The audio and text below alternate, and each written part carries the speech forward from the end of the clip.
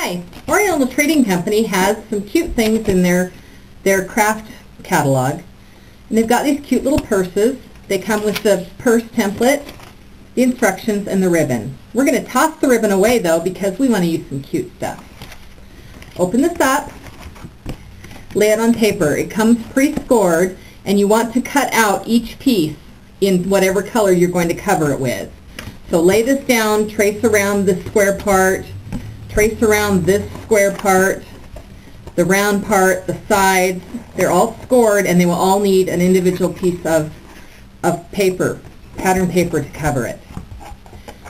Once you've done that, use adhesive and put it on each side of the purse. Mine is not perfect, but you want to cover it completely on all the sides.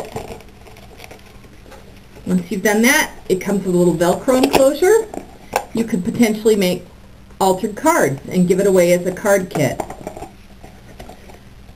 We added a cute ribbon on the top, some ribbon decorations, a little acrylic tag. This is also from Oriental Trading Company, a little metal flower. And I did this one last summer for a Scrap Biz challenge in the Scrap Biz colors of blue and yellow. This is a fun little project and I, this is so cute that I keep it on my shelf in my scrapbook studio. So next time you get an Oriental Trading Company catalog, look through it carefully and see what items you can find in there to alter. Have fun!